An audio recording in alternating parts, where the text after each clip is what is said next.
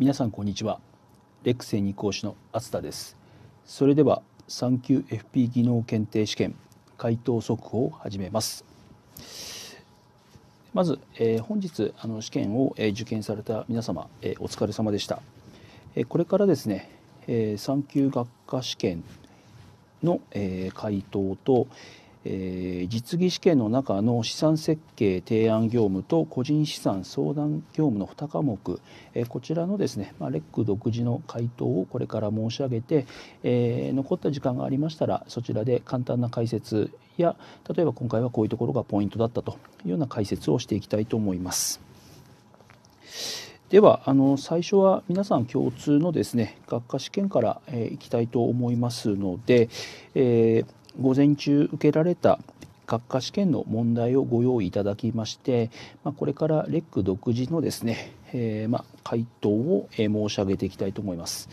で実際のところですね、えー、まあ、本日の17時半ですね17時半になれば回答が出ますので、まあ、そちらで最終的な確認をしていただきたいと思うんですけれども、まあ、実際に学科試験は60問ある中で36問以上の正解でですね、まあ、合格6割で合格となりますから、まあ、その目安に使っていただければなというふうに考えますのででは、えー、学科試験の回答を申し上げていきたいと思います。でマークシート、まあ、実際の本番はマークシートで、えー、1番と2番を、えー、塗るような形になっておりますけども、えー、説明の便宜上ですね正しいもの、えまあえ、正しいものや適切なものについては丸と、え、誤っているもの不適切なものについては×という形で申し上げていきますので最初の第1問の、えー、正誤問題から始めていきたいと思います。では、えー、括弧1から括弧5までですね、えー、こちら申し上げていきます。えー、括弧1が丸、括弧2が丸、括弧3が×、括弧4が、えー、×、えー、括弧5が丸。続けて申し上げます。えー、括弧1から括弧5までが丸、丸、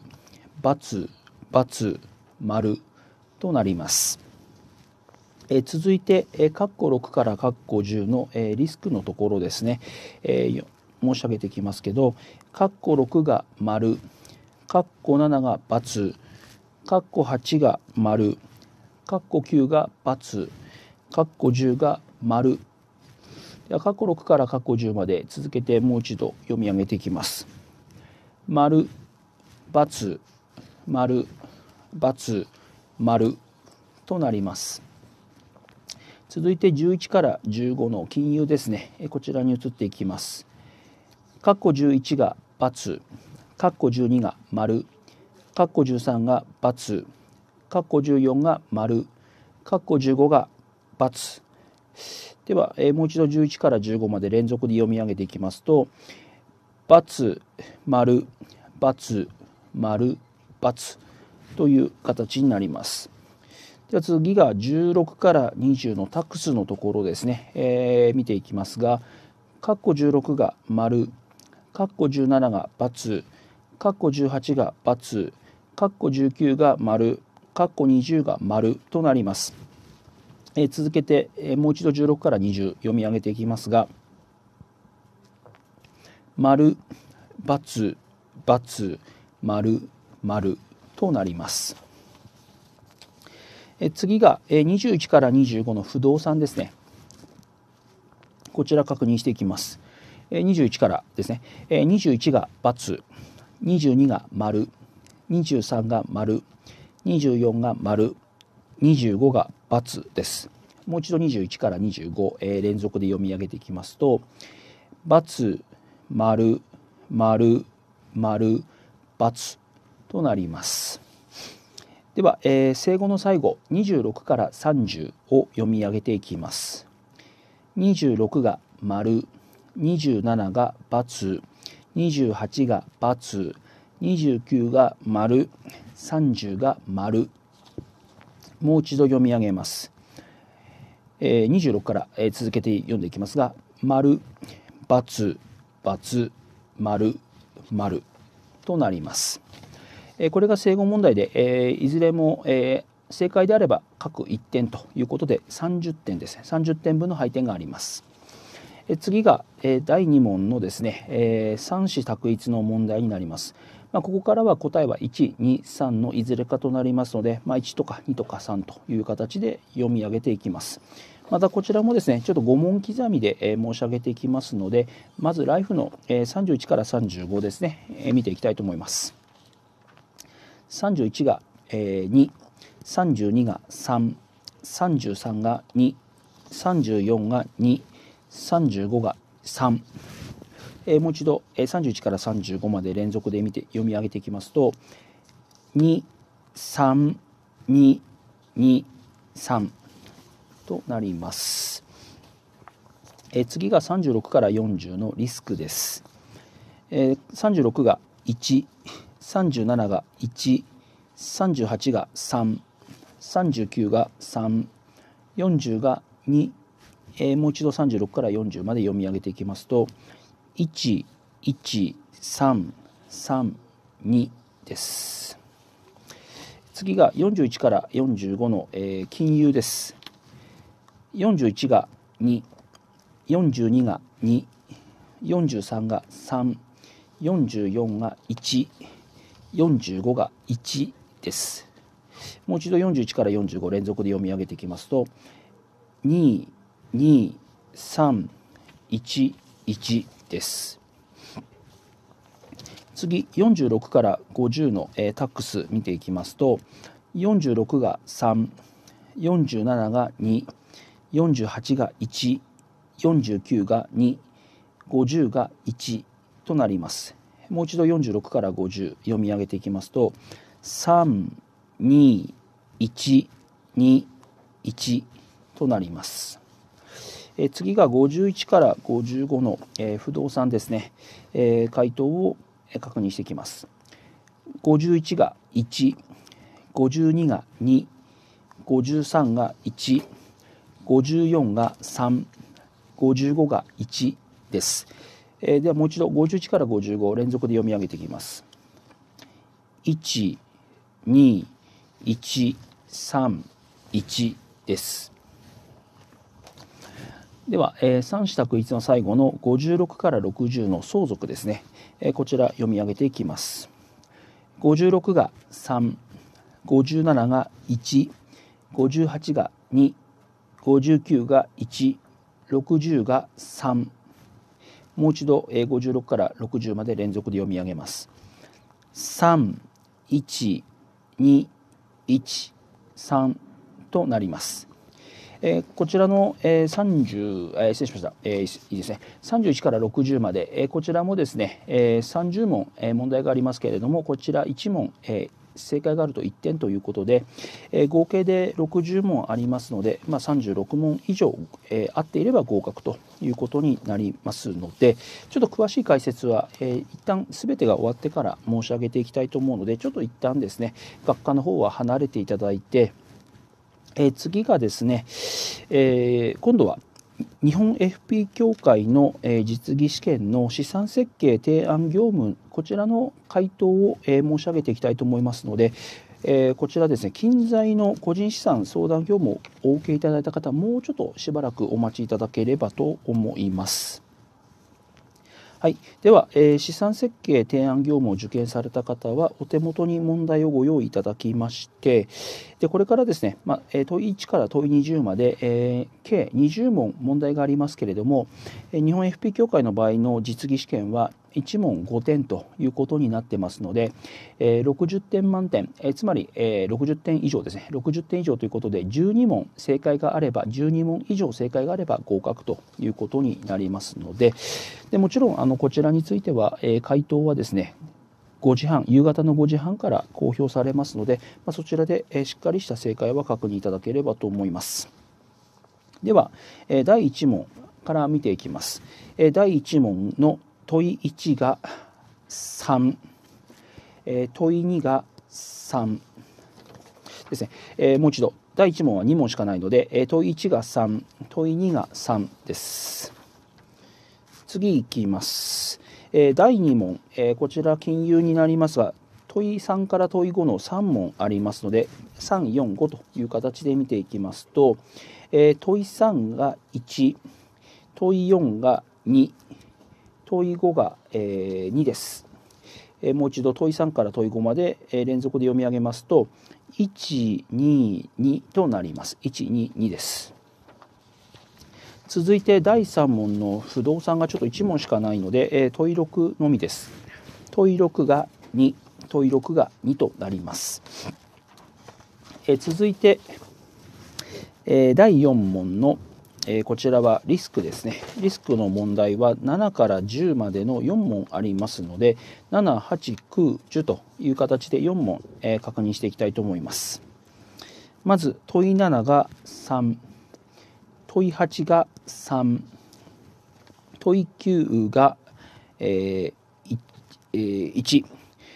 問い10も、えー、ごめんなさい問い10は3です。もう一度ちょっと読み上げていきます。えー、問い7が3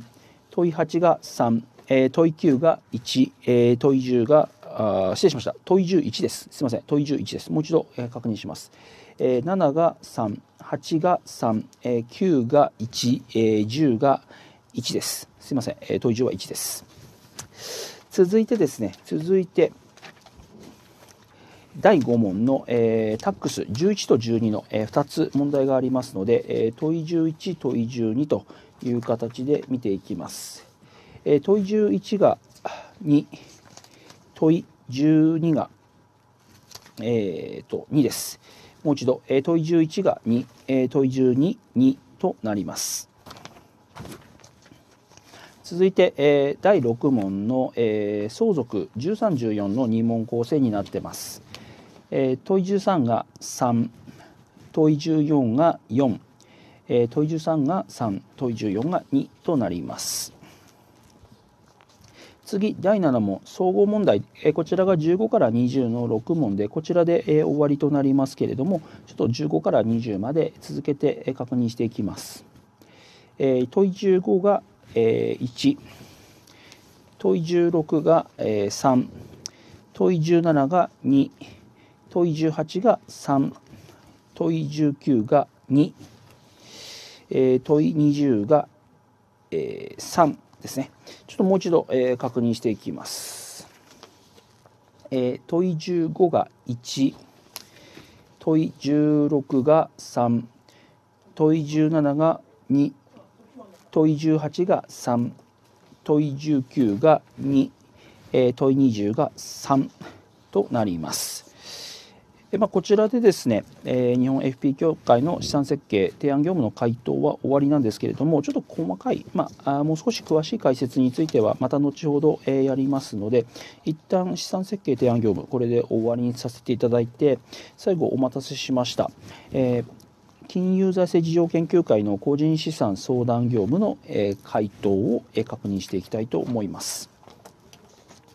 でこちらについては、えー、大問が5問1から5までの大問5問で、え、各大問ごとに10点の配点があって10点かける、えー、5科目ということで50点満点と。で50点満点で30点以上で合格となりますけれどもこれはまああの夕方5時半になればですね、え回答とともに配点も公表されますので例えば、え1つの題目の中に、え3点3点4点という4点の問題が必ずありますから、まあ、その4点のところをですね、えまあ、確認いただいて、まあ、実際のところですね問題数で考えていくと、え場合によっては9問まあ、9問で合格することもあるんですけれども、まあ、10問以上あればどんなことがあっても必ず合格できますのであの9問でも場合によっては不合格ということもあるので、えー、問数ではなくて必ず得点でですね確認いただきたいなと思います。では、えー、第1問の、えー、ライフから見ていきたいと思いますのででは第1問の、えー、問1から確認していきます。では問1が2、えー、問2が2問い3が1です。でもう一度確認していきますと、えー、問い1が2、問い2が2、えー、問い3が1です。2、2、1となります。続いて、えー、第2問の金融です。えー、金融、まあ、こちら問い4から問い6の、えー、3問になりますが、えー、問い4が、えー、3、問い5が1、問い6が2です。もう一度問い4から問い6ですが問い4が3問い5が1問い6が2となります。続いて第3問のタックスです。こちら7から9の3問ということで問い7から申し上げていきますと問い7が1問い8が1問い9が2です、問い7が1問い8が1、問い9が2となります。次が、第4問の不動産です。不動産10から12までの3問になりますが、えー、問い10が1問い11が3問い12が3です、えー、問い10が1問い11が3問い12が3となります。では最後の第5問ですね。13から15までの3問になりますが、えー、問い13が3問い14が2問い15が3となります、えー、ではもう一度。問い13が3問い14が2問い15が3となります。では、ちょっとこちらで一旦ですね、あの個人資産相談業務の回答も終わりましたので、また最初に戻りまして、えー、残った時間でですね、えー、まあ、簡単な解説というのを、えー、していきたいなと思いますので、じゃあまず3級の学科試験の問題をですね、えご準備いただきたいと思います。で今回ですね、え、まあ、9月の、え試験だったんですけれども、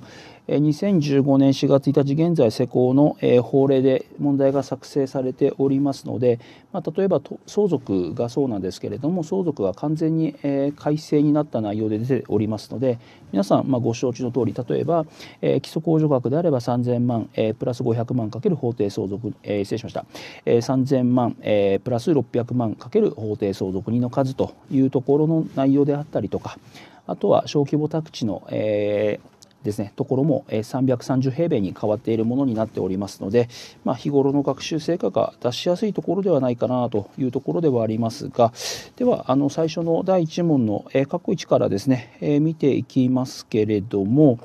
じゃあちょっとまあかいつまんで確認していきます。まあ、カッコ3です。えー、カッコ3については、まあ、これですね、えー、繰り下げるという形になりますので、繰り下げる場合、1月あたり0.7%ですね、えー、増額されて、まあ、最高5年間、えー、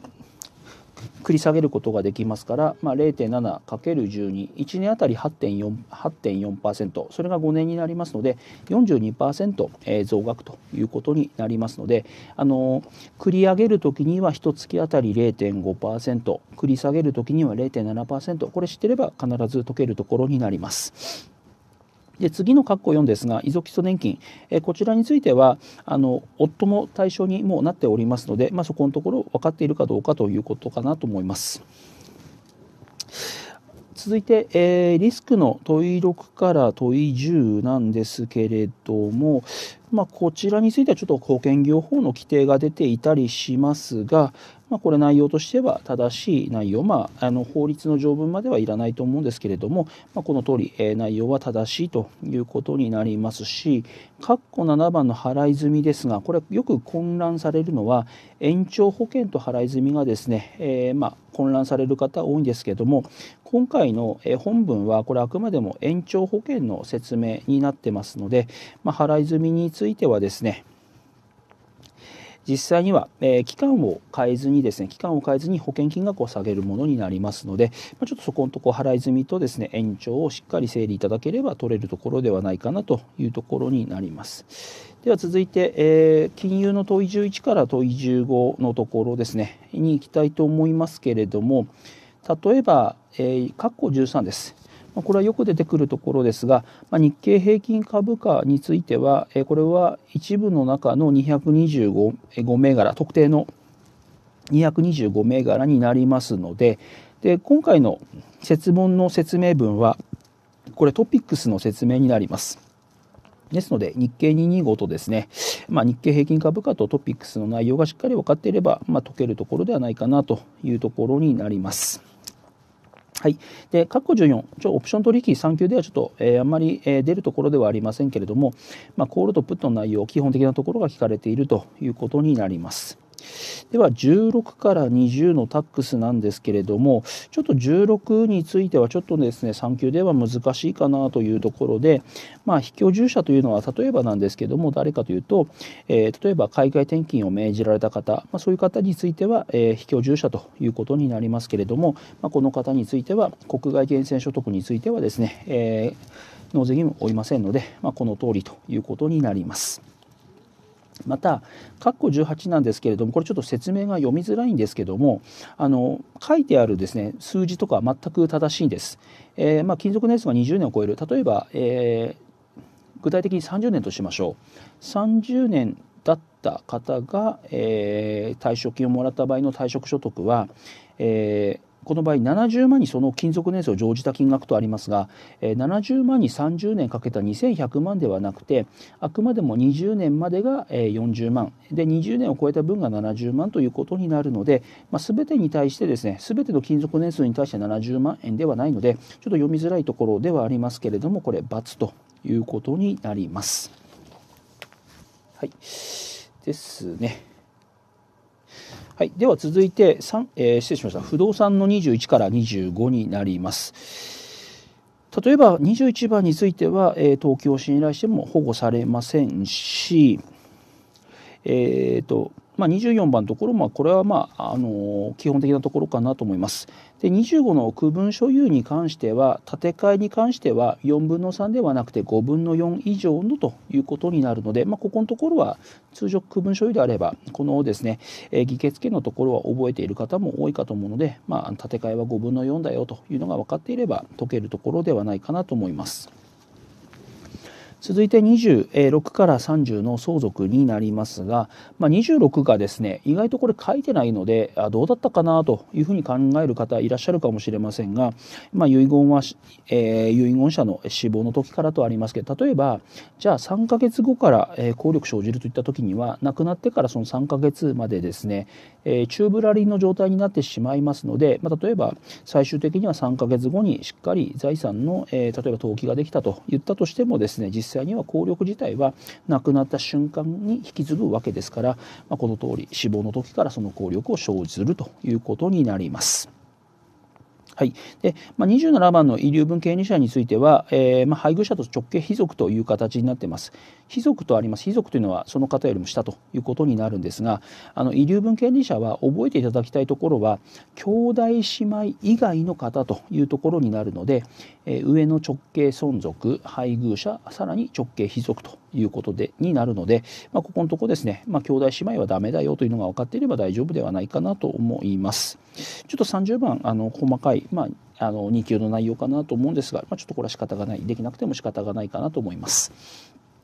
続いて第2問の三子択一です。ちょっとここ、えー、まあ、いつも、ま解説の時にちょっと申し上げているんですが例えば31番のですねこちらの、えー、係数を使った問題なんですがこれ3級であれば十分時間があるのでこの係数の名前と係数の名前別に覚えなくてもいいです。電卓叩けばこれ解けるので、ちょっと簡単に見ていきますと、まあ、今回1000万を1%で、え、複利運用しながら10年にわたって金、えー、毎年均等に取り崩すと言ってるので、運用しなくてもですね、まあ、均等に、えー、取り崩す場合100万ずつもらえます。100万ずつもらえるわけですから、この時点で1番は正解はありえないです。えー、通常何も運用しなくても100万もらえるものが減るということは起こりえないので1番がこれは正しいものではないので2番か3番のいずれかというとこでもうこれで2者択一になります。でそうするとですね、え考えられるのが、えこれですね集荷係数ただ集荷係数ってこれ通常この1000万にかけますので、えそれが1.1046これかけると超えてしまうんでおかしいので1.1046をかけるのはおかしいです。で先ほど申し上げたように96万95万6000という回答は絶対にありえないので、えー、資料の中の一番右にある資本回収係資本回収係数というのをかけます1000万に1000万に0.1056をかけると105万6000円ということで、まあ、運用してますので100万を超える105万6000円というのが今回2番が正解だということになるので、まあ、3級であれば係数のですね、えー、まあ、内容まで覚えなくても電卓叩けば必ず正解取れますので、まあ、慌てずにやっていただきたいところになります。はい、で33番のですねこちらの、えー、学生支援学生支援機構の内容については1種が無利息。で2種が有利息というところが分かっていれば解ける問題ではないかなというところになります。はい、ではあの36から40の、えー、これリスクのところになりますが、えー、先ほど生後問題のところで保険業法がありまして今度は保険法ということでちょっと今回細かいかなというところなんですが、まあ、告知義務違反があった場合についてはこれですね1ヶ月ですね知った時から1ヶ月で、え、知らない場合には5年間というふうになってますので、まあ、これちょっと細かいなと思うんですが1番が正解となってきます。で38番のがん保険については通常3ヶ月の待ち期間がありますので、まあ、これは3ヶ月に該当する90日を選べば良いということになります。また個人賠償につきましては、まあ、今すごく、え世間で騒がれていますが、ま、自転車で例えば人をはねてしまったような場合であれば対象になるんですが自動車に関してはこれ当然ながら自動車保険の対象なのでこれ個人賠償はこちら対象になりませんので、まあ、今回は飼い犬が人を噛んだ場合です他人を噛んだ場合こちらは、えー、賠償の対象になるということです。はい、ではえ41から45の金融になりますけれども、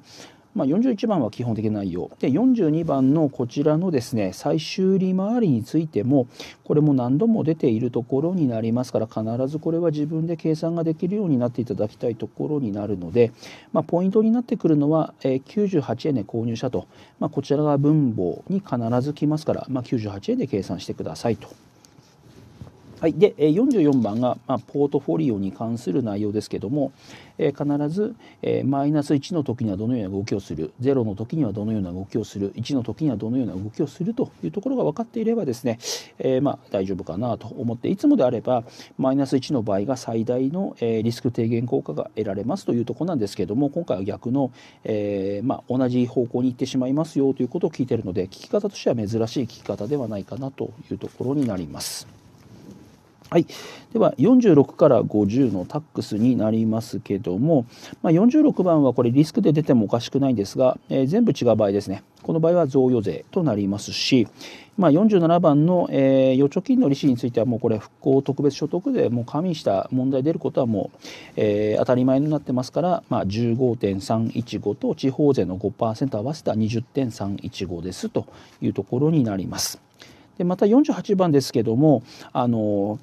不動産の貸付は事業的規模であろうがなかろうが必ずこれ不動産所得なので、まあ、事業的規模になると事業所得になるというふうに考えていらっしゃる方もいるかもしれませんがこれ不動産所得になります。49番の損益通算のところですがあの雑所得についてはこれ、えー、50万のマイナスがあっても、えー、0円と考えますので800万プラスマイナス100万で700万ということで2番です。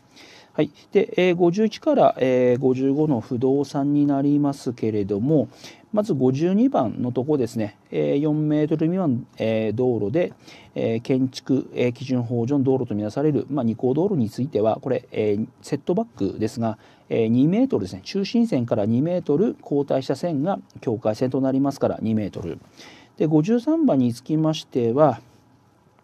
これは結局、えー、憲兵率となりますから敷地にどこまで、えー、建てられるかという話なので、まあ、今回80平米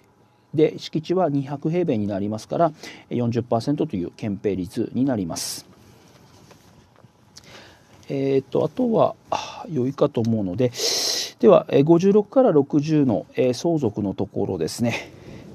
でこちらについてはまあ56番のこれ2500万と20%これはもう必ず正解、えできなければいけないところになりますし、えー、と57番の心臓関係図のところの問題については A さん亡くなって子供いないので、えー、第一順位の相続はない。でさらに上に行くとお父さんお母さんもすでに死亡してますから第二順位の相続もない。ですから第三順位の弟 C さんと配偶者の夫 B さんということになるのでこの場合夫 B さんが4分の3で残りの4分の1を弟 C さんということになるので1番が正解です。でまた58番のところの放棄は、まあ、これ必ず3ヶ月というところは大丈夫だと思いますし、まあ、59も問題ありません。で60番につきましては小規模なんですけどもこれ、えー、税制改正に影響がない事業用宅地になりますので400平米まで80%減額ということになるので3番選んでくださいということであの確かに一つ一つの選択肢を見ると難しい選択肢などが含まれていたり、まあ、ちょっと細かいかなというところあったりしますけどもただだからといってですね36問取れないわけではありませんから日頃しっかり学習されている方であれば、えー、間違いなく、えー、合格が合格ラインが取れるような問題ではないかなというところになります。では続いてですね、えー今度は FP 協会の資産設計提案業務の問題解説に移りたいと思います。ではちょっとこちら、え、受験された方は用意していただきまして、まあ、第1問の、え、こちら問1問2のとこなんですが、まあ、問1についてはまこれはまよろしいかと思います。で問2のところなんですけども、え、これですね例えば括弧2のところ「い」のところですが計算式見ると618自体間違ってはいませんけどもあの引き方ですえ当然ながらこれですね、え年間収支になりますから収入から支出を引いて求めていくので、ま今回は収入が626で支出今回、え一時的な支出おそらくま住宅でも購入したのかもしれませんが一時的な支出が膨らんだことによって支出が大きくなってますので、ま収入から支出を引くとマイナスになるのでこれあたかもプラスになっているように見えますのでこれはもうこれは間違っているということになります。あとは、え、あのところですね、あのところですが、これは変動率を2年分考慮していかなければいけませんので、あのこの内容については1年目ですね1年目であれば正しいんですが2年目についてはさらにもう1回かけなければいけないので間違っているということになります。え次がですね、えー、問い3にきまして問い3につきましてはこれ不適切なものなので、まあ、についてはこれ景気動向指数の内容ですねとなりますので、まあ、いとうについては、まあ、日銀単価と消費者物価指数で、え、問題がないということになります。次の問い4につきましては、まあ、これ計算を知ってるかどうか PBR の求め方と配当利回り分かってるかどうかということになるので、まあ、こちらはしっかり試験直前に暗記していただきたいところとなります。はい、続いて問い5のところなんですがあ今回だと式法を見ながら結局計算をさせるような問題なんですがちょっとま細かいなというところで例えば1番のところであればこれはですね、えー、配当の12の313年の3月14年の3月この3年を見て、まあ、10円10円11円となってますから1株当たり30、まあ、3年間で31円。でこれは今回は単元がですね、まあ、1単元100株になってますから、まあ、31×100 で3100円ということで、まあ、1番は正しいということになります。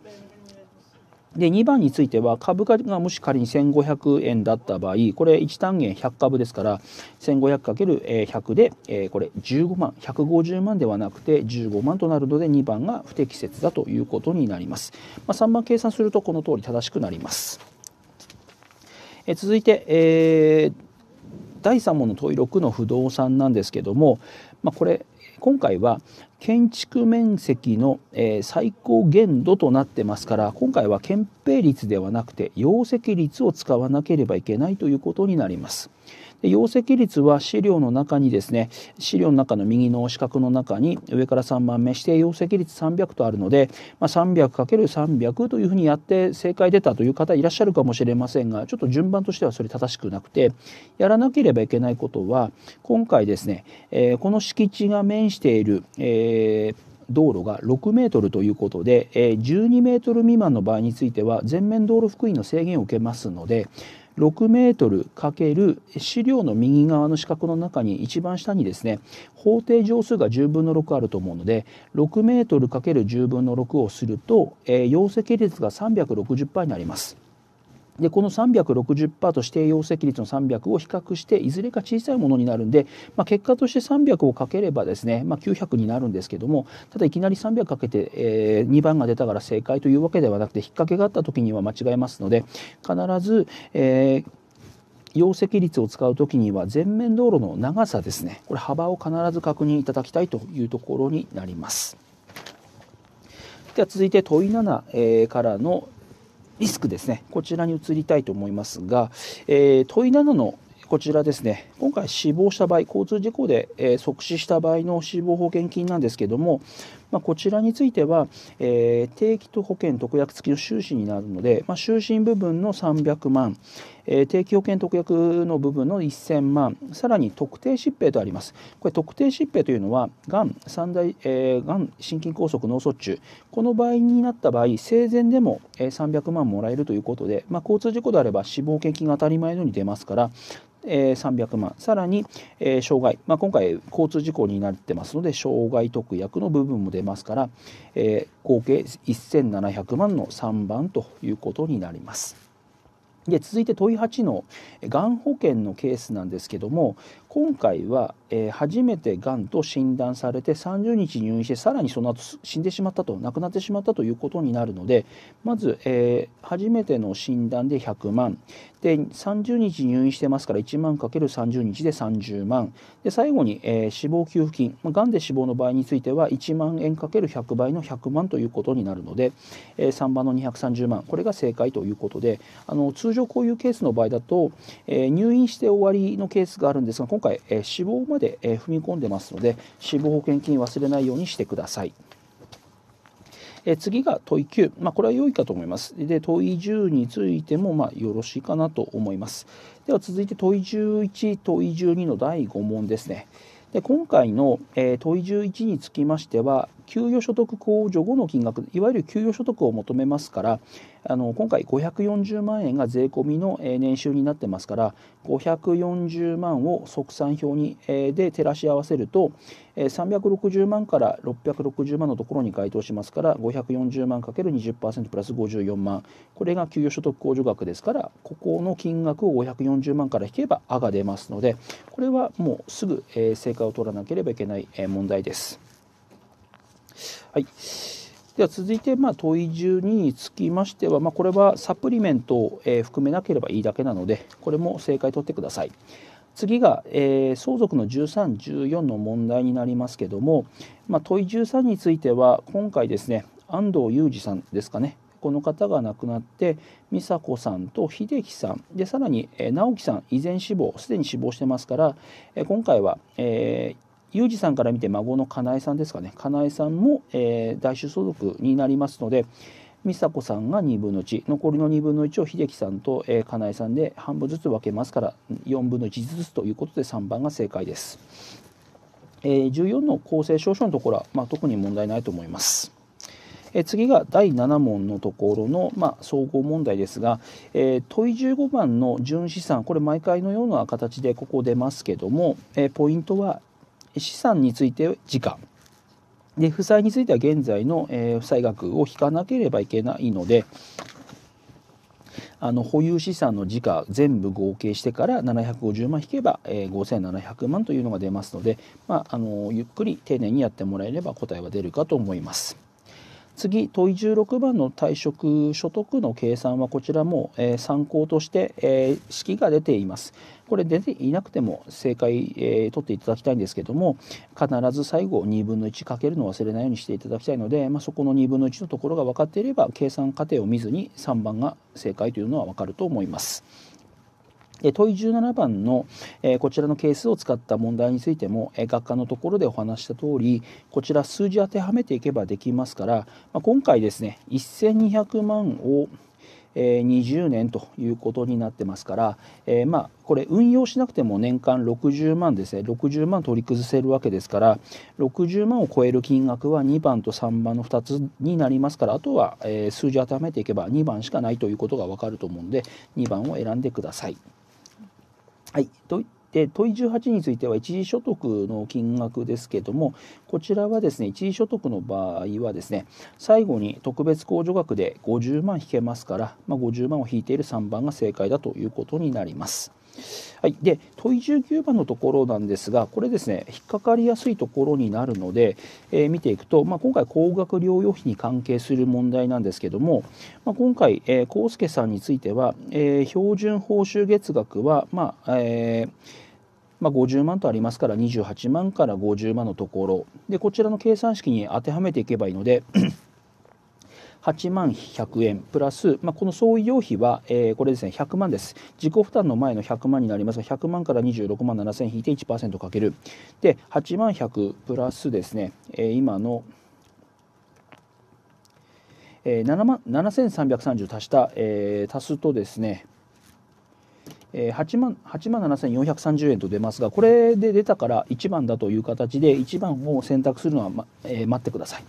今回は自己負担、まあ、あの医療機関で30万まず払ってます。30万払って、えー、今高額療養費計算したら8万7430円だったので、えー、30万から8万7430を引いた金額が払いすぎているものですからこちらが払い戻しの対象になるので1番ではなくてそれを控慮した2番の21万2570円これが正解になりますから、まあ、最後になってくるとちょっと集中力も、えー、欠けてきてですね1番選びがちですからしっかり間違わないようにしてください。ただこれがもし高額療養費はいくらかと聞かれたら1番が正解となりますから、えー、ちょっと問題の聞き方にも注意してください。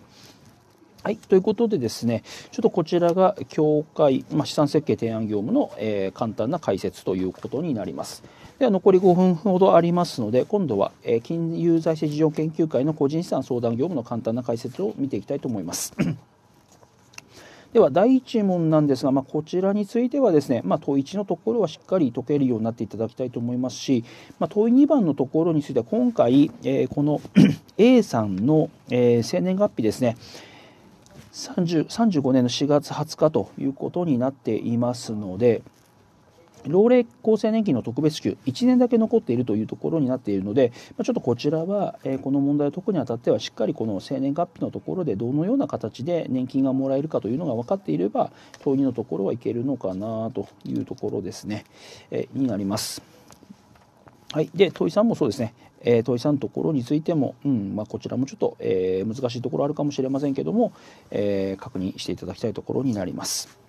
次が、え、第2問のですね金融になります。で金融の投与については、まあ、あの株式投資の仕組みというところはありますけども、えー、指値となり行きだったらどっちが優先されるかとか、まあ、それはもう皆さん大丈夫だと思うんでこれは、え、3番選べると思いますし、えー、問い5万については、まあ、金額 NISA の場合の、えー、非課税投資枠の上限は100万であるですね。で J リートも含んでいるというところが分かっていればですね、まあ、1番選べるのかなというところですし、まあ、問い6は計算問題ですからこれ必ず正解取れるようにしておいてください。で第3問のタックスです。タックス。で問い7番のちょっと1番今回不適切1番なんですけどもこれ130万と聞くとですねあそうだこういう数字あったなというふうに考える方いるかもしれませんが130万というのは健康保険の場合ですね健康保険ですねこちらの、